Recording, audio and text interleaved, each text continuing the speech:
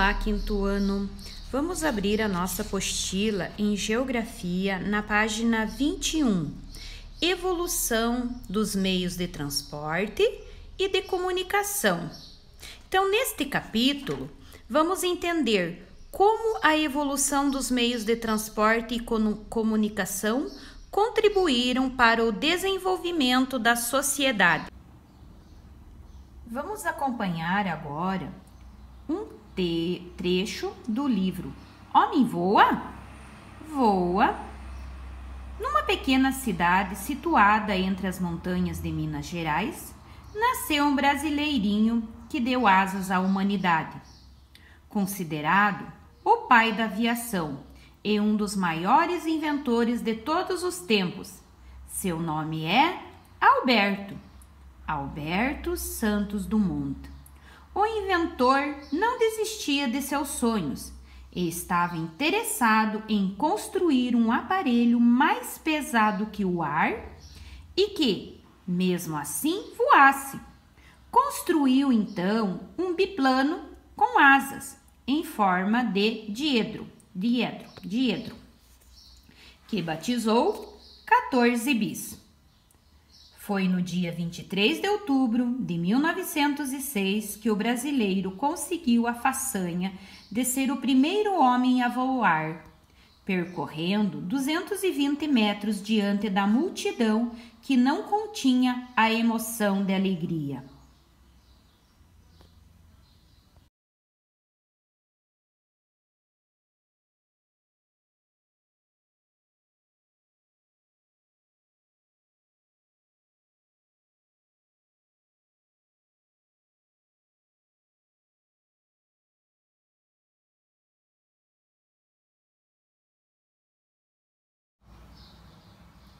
Vamos lá. Converse com seus colegas e o professor sobre as questões a seguir. Que meio de transportes Santos Dumont inventou? Então, ele inventou o avião, o 14 bis.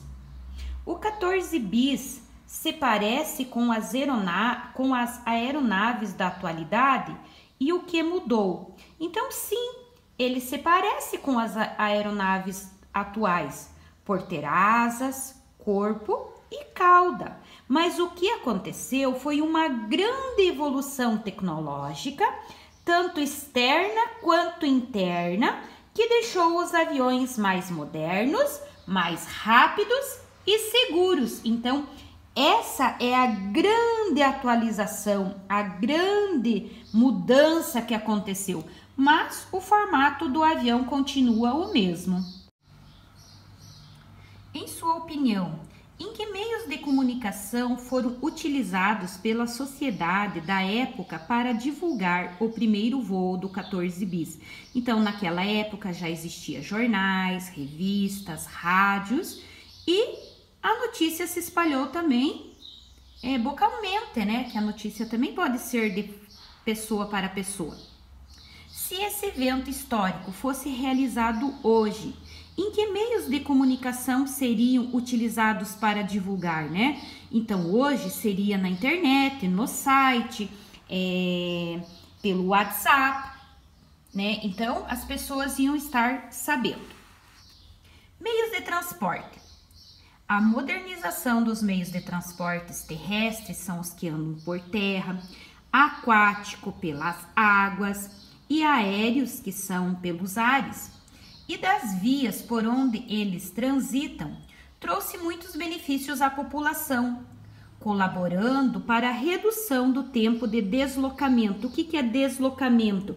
Deslocamento de pessoas, produtos, pode ser realizado por meio de ferrovias, rodovias, hidrovias e aerovias. Então, ferrovias é por ferro, estradas de trem, né? Rodovias pelas BRs, hidrovias é água e aerovias pelo ar. Mas nem sempre o ser humano contou com tantas opções de transporte. Na pré-história, por exemplo, os nossos ancestrais caminhavam longas distâncias a pé até aprenderem a domesticar os animais que passaram a ser utilizados para o transporte de pessoas e de mercadorias. No entanto, foi com a invenção da roda em que os meios de transporte evoluíram. Evolução dos meios de transportes. Primeiro, nós vamos ver sobre os navios. No passado, para se deslocar pela água, os seres humanos remavam sobre troncos de árvores amarrados com fibras de vegetais. Com o tempo, essas embarcações transformaram-se em barcos à vela, movidos pela energia dos ventos, energia eólica, lembram? Depois vieram as caravelas mais resistentes e, por volta de 1817, as primeiras embarcações movidas a vapor. Nelas, enormes caldeiras de água eram aquecidas e o vapor gerado colocava em atividade para movimentar os navios. Então, observem aqui essa linda imagem, né? Tem os barcos a velas e depois como eles foram se aperfeiçoando até chegar hoje naqueles imensos navios. A necessidade de transportar pessoas e mercadorias para lugares cada vez mais distantes resultou em vários inventos e avanços tecnológicos que aumentaram a eficiência dos motores e a capacidade e a segurança dos navios, qualificando ainda mais uma atividade que até hoje auxilia o comércio e a comunicação entre países. Então, aqui nós vemos um navio de carga, né? Ele transporta óleo, combustível formado por derivados do petróleo e é utilizado pela maior parte dos navios comerciais do mundo. Outra imagem, nós temos um navio que transporta pessoas. É o maior navio do mundo. Ele comporta 6.780 passageiros.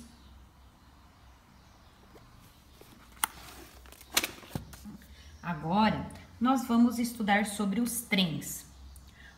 Os trens são muito utilizados para os transportes de passageiros e principalmente de cargas, pois são considerados seguros rápidos e econômicos.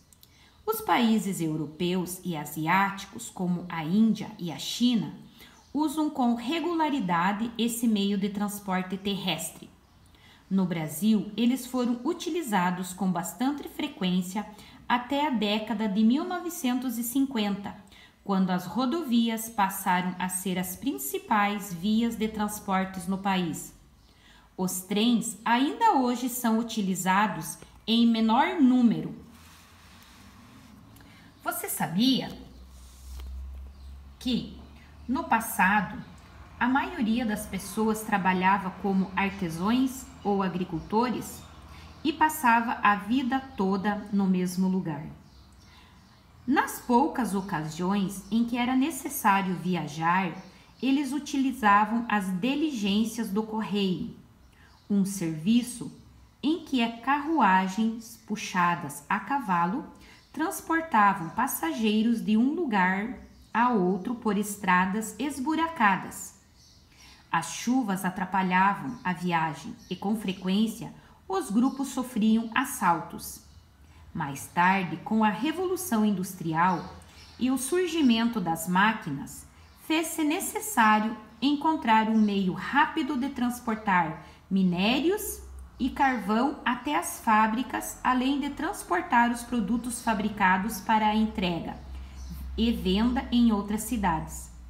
A primeira solução para isso foi afixar trilhos a um caminho de cascalho por onde passavam vagões puxados por cavalos.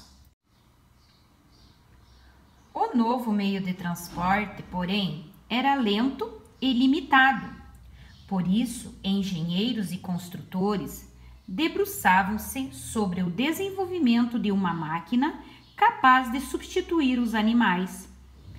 E essa função, nessa função, né, que os animais puxavam. Em 1804, o primeiro trem com, com locomotiva a vapor viajou entre Liverpool e Manchester, na Inglaterra.